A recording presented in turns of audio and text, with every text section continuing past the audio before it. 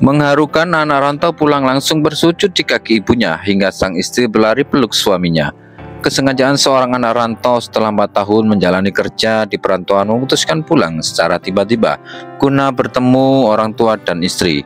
Setelah 4 tahun menjalani hubungan LDR via video call, video dari unggahan dari akun TikTok LC Suanda ini membuat kita terbawa dalam suasana terharu pasalnya melihat ekspresi sang ibu dan istri Tiba-tiba pulang waktu tengah malam membuat sang ibu kaget, tangisan sedih hingga bercampur saat memeluk anaknya.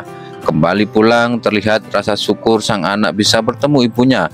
Ia langsung bersujud syukur di bawah telapak kaki ibunya, bisa pulang dengan selamat.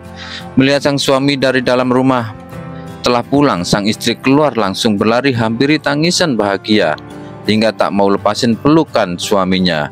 Itulah momen haru pertemuan pejuang keluarga dengan ibunya serta istrinya.